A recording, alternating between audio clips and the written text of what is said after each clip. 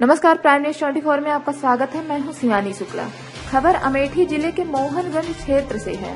भूतपूर्व विकलांग सैनिक के मोहनगंज कोतवाली से 100 मीटर दूर बने मकान को रात में तोड़ दिया गया। पुलिस को खबर तक नहीं लगी। मामला अमेठी जनपद के कोतवाली, मोहनगंज व तहसील तिलोई का है। जगत बहादुर सिंह भूतपूर्व सैनिक का जगदीशपुर रायबरेली हाईवे पर मोहनगंज में चौराहे पर दुकान व होटल चल रहा था। बीती 12 दिसंबर को भूतपूर्व सैनिक के लड़के होटल बंद करके घर आ गए। रात में गाँव के कुछ लोगों के द्वारा उनकी दुकान की छत और दीवार को तोड़ दिया गया और गुमटी छप्पर को भी नष्ट करके दुकान में रखा सामान और पैसा लेकर फरार हो गए। जबकि स्थानीय दुकानदारों से पूछने पर पता चला कि रात में उनको किसी की दुकान तोड़ने की आवाज़ सुनाई दी तो उन्होंने थाना प्रभारी मोहनगंज को रात में कॉल करके बताया था।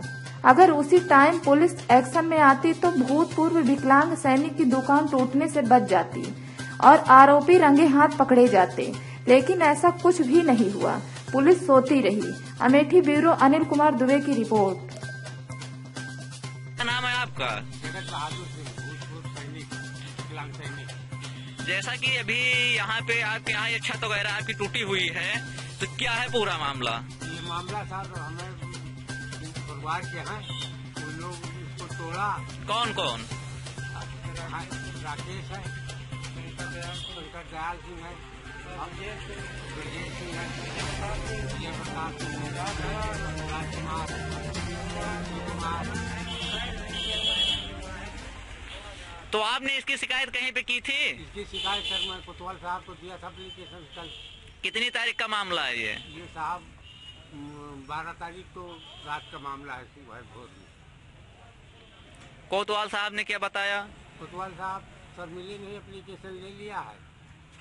फिर शाम को हमको एफ़ आई आर की नकल भी दिया उसमें ये समझ लीजिए कि लूटपाट वाला कोई चक्कर नहीं हुआ था। उसमें तीन सौ उनासी दिखा दिया है। और हमारा सामान सब उठा ले गए साहब काफ़ी सामान उठा ले गए। मैं यहाँ हम और राधे होटल शामिल में को लेते तो होटल का पूरा सामान ले गए और समझ लो हमारी बिल्डिंग का टूट पाट की आप चाहते क्या हो?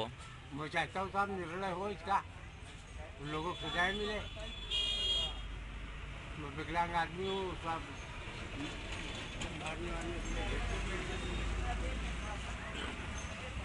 में लगभग एक एक एक डेढ़ बजे के आसपास जो है आवाज़ आई थी जो है।